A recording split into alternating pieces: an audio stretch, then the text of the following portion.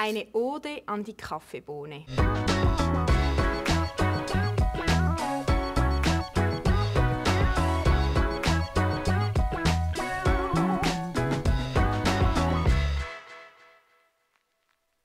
Sie ist wohltuend, wohlreichend, man fühlt sich willkommen, man ist in guter Gesellschaft. Sie tut aber auch gut. Am Morgen Kaffee gibt einem Energie für den ganzen Tag. Sie kann aber auch die schlechten Gerüche vertreiben. Tut man sie in eine Skischuhe rein, ist am nächsten Tag wie neu.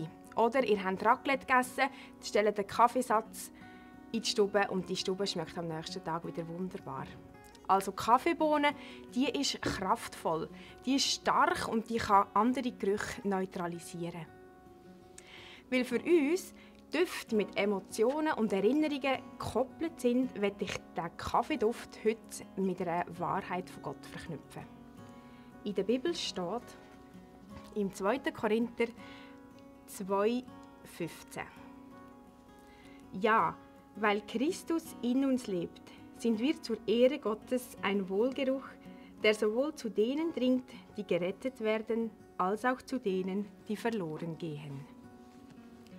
Du und ich, wir alle sind ein Wohlgeruch zu Gottes Ehre in unserem Umfeld.